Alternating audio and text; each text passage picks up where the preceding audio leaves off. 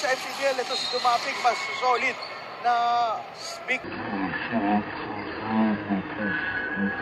man hit ko sa MPBL. And Came from Jensen, si Chris Tumapig. ako mukhang, ah, Got hit, no? Sa wrist si Kid Jimenez. yeah, the way I saw it when he fell, he tried to uh, use his, uh, yung hinahawakan niyang kamay to break his fall. Yan ang ngayon, nanginginig yun.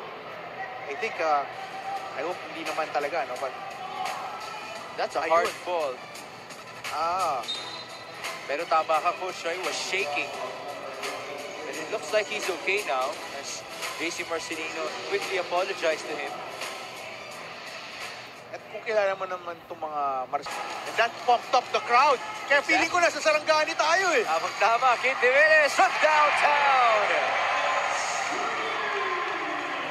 Uh, just really a timely three. Kaya feeling ko na sa Sarangani tayo eh.